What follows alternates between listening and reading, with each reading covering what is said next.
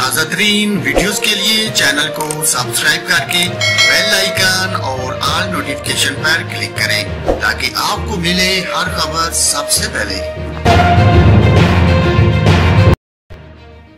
वज़ीर इतलात गिलगित बल्तिस्तान ने के टू सार करने की कोशिश में लापता होने वाले पाकिस्तानी गोपेमा अली सतपारा की लाश मिलने की तस्दीक कर दी।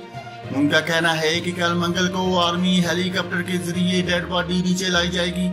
रिपोर्ट के मुताबिक पीर को के टू बेस कैंप फोर के करीब से दो लाशें मिली थी।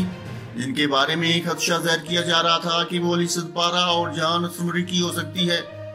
वज़ीर इतलात गिलगित बल्तिस्तान, फतेह अली खान ने सदपारा की लाश मिलने की तस्दीक कर दी। उन्होंने कहा कि आर्मी हेलीकॉप्टर्स के ज़रिए के टू बेस कैंप फोर के करीब मिलने वाली लाशें कल नीचे लाई जाएँगी। रिपोर्ट के मुताबिक दोनों डेड बॉडीज एक दूसरे से काफ़ी फासले पर हैं।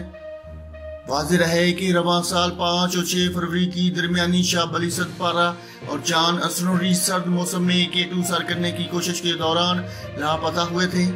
इन्हें 18 फरवरी को मुर्दा करार दे दिया गया था।